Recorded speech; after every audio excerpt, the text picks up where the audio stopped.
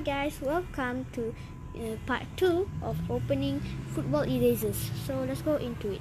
This is actually not in Amazon. This is actually a my friend's box. So she just gave me. I mean, he just gave me. Okay, let's go into it. This is the thing to open. Open this. First, we're gonna go to this side. It's hard. So let me just.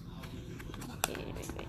This is a bit hard open this one. Okay, got it. Okay, so we got this. This,